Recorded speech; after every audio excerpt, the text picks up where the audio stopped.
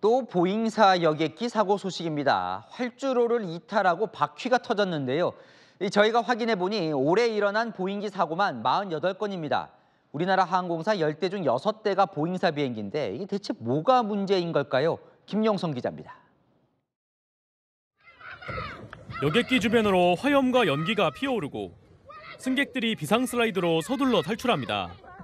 현지 시각 어제 새벽 세네갈에서 보잉 737 여객기가 이륙 중 활주로 인근으로 미끄러지는 사고가 발생했습니다. 타고 있던 사람 85명 중 10여 명이 다쳤습니다. Je pense que, personnellement, je pense qu'il a bien géré la situation. Euh, L'avion n'est pas trop euh, endommagé. 같은 날 튀르키예에서는 착륙하던 보잉 737 항공기에 바퀴가 터졌습니다.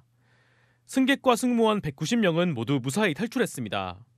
그제 동체 착륙 사고에 이어 이번 주 보잉기 사고만 세 번째입니다. 올해 발생한 보잉 항공기 사고는 48건으로 에어버스 8건보다 6배 많습니다. 미국 연방교통안전위원회 집계 자료로 최근 5년간을 비교했을 때도 확연히 높습니다. 내부 고발자들의 폭로도 이어지고 있습니다. 보잉사의 부품업체에 근무했던 전직 품질검사관은 BBC와의 인터뷰에서 최대 200개의 결함을 발견했지만 숨기라는 압력을 받았다고 주장했고 이미 미 상원 청문회에서도 비슷한 발언이 나왔습니다. The company is taking manufacturing shortcuts on the 787 program that may significantly reduce the airplane safety and the life cycle.